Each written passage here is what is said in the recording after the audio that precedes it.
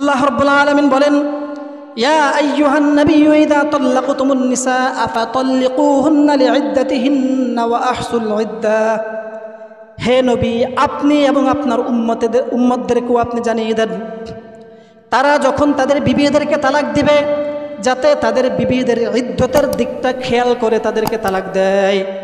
তালাক দেওয়ার সময় কোন দিকে খেয়াল করবে? ইদ্যত ইদ্যতের দিকে খেয়াল করে কি করবে? তালাক দিবে। ইদ্যত কাকে বলে, সংক্ষেপে বলি বোঝার চেষ্টা করবেন। আমাদের সময় শেষ হয়ে আসতেছে। কিছু গুরুত্বপূর্ণ কথা এখনও রয়ে গিয়েছে।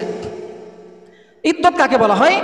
ইদ্যত বলা হয় স্ত্রীর যদি স্বামী মারা যায়, অথবা কোনো কারণে স্বামী যদি স্ত্রীকে তালাক দিয়ে দেয়, তখন নির্দিষ্ট একটা সময় ইসলাম নির্ধারণ করে দিয়েছে। এই সময়টা স্ত্রী শোকাহত থাকবে। স্বামীর বিয়োগ ব্যথায় সে শোকাহত থাকবে। এবং যেহেতু সে এতদিন একজন স্বামীর অধীনে ছিল, স্বামীর সাথে অবশ্যই একান্ত সময় কাটিয়েছে। স্বামীর শরীরের একটা অংশ তার রেহেমে, তার বাচ্চাদের মধ্যে থাকাটা খুবই স্বাভাবিক। এই অবস্থায় যদি বিবাহ হয়ে যায়, নতুন সংসারে যদি কোনো সন্তান আসে, তাহলে এই সংসারের পিতৃত্ব নির্বাচনে সমস্যা দেখা দিবে। এটা কি আগের ঘরের স্বামীর ছেলে নাকি নতুন স্বামীর ছেলে? এটা নির্বাচনে সমস্যা দেখা দিবে। অনেক সূক্ষ্ম একটি বিষয় কিন্তু। এজন্য ইসলাম বলে যাদের তালাক হয়ে গিয়েছে, তারা তিন মাস বা তার চাইতে একটু বেশি সময় অপেক্ষা করবে।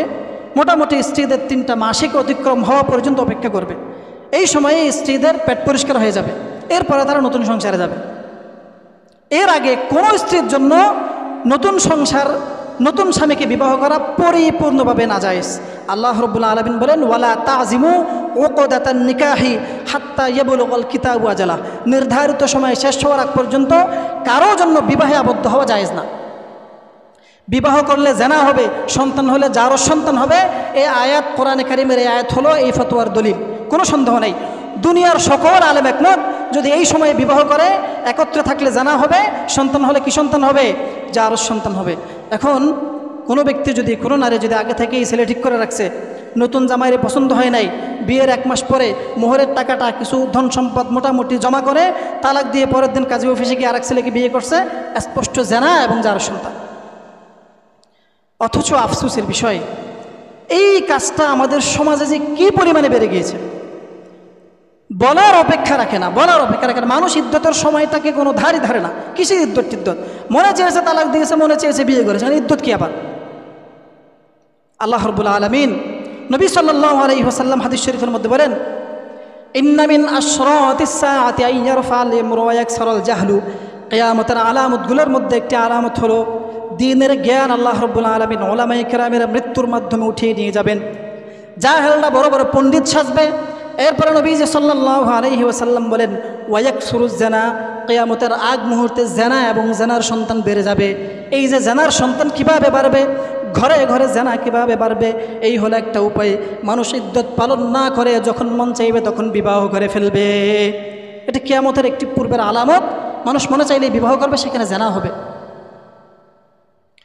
অথচ সুরত তালাকের মধ্যে তালাকের বিধান বর্ণনা করার পর আল্লাহ রব্বুল আলমিন বলেন ومن يتعد حدود الله فقد ظلم نفسه এই যে তালাকের বিধান আমি তোমাদের জন্য নাজিল করলাম এই তালাকের বিধান হলো আমার সীমানা প্রত্যেকটা দেশের একটা বর্ডার থাকে সীমানা থাকে মানুষ যখন অনুমতি ছাড়া অবৈধভাবে সেই সীমানা পার হয় সেই শাস্তির সম্মুখীন হয় আল্লাহ রব্বুল আলমিন বলেন তালাকের বিধানটা হলো আমার সীমানা আমার বর্ডার রেড লাইন এই সীমানা যেই ব্যক্তি অবৈধভাবে নিয়ম না মেনে পার হবে সে মূলত নিজের নফসের উপরে জুলুম করার মাধ্যমে জালেম হয়ে গেল।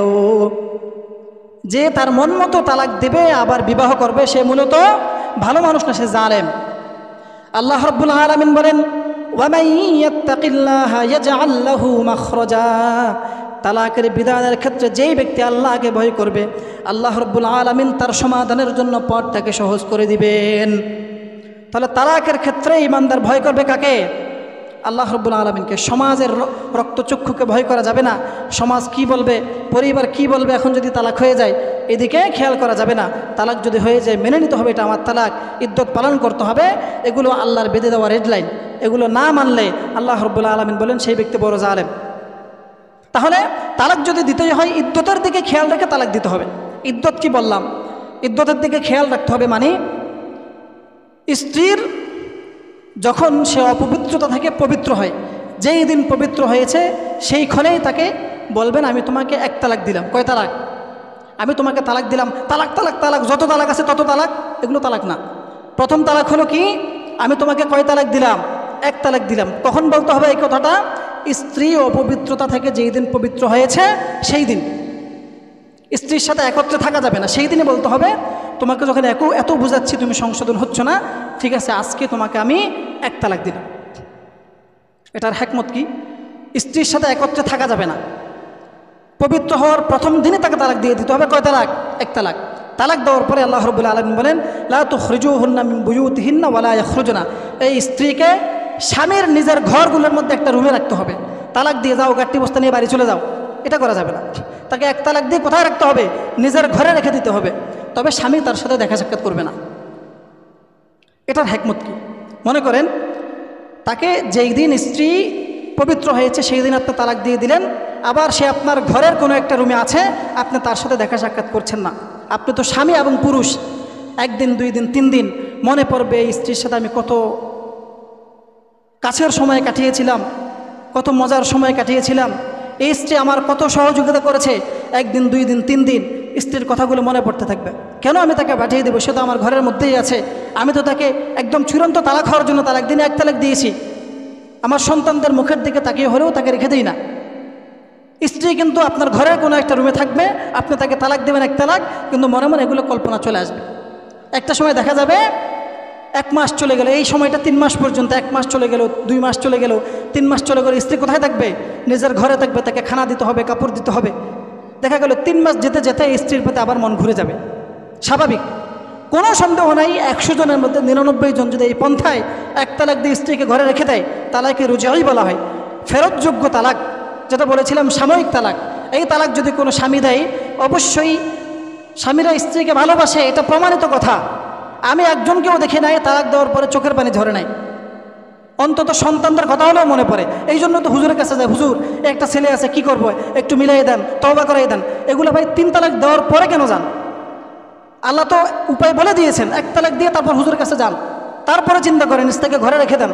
যেভাবে সংসার মিলে যাবে, সেই পন্থ আল্লাহ দেখিয়ে দিয়েছে। শুধুমাত্র রাগ উঠলেই একশো তালাক দিয়ে রাখেন। তো উপায় তো তখন থাকে না হুজুরকে আর মশালা বানায়?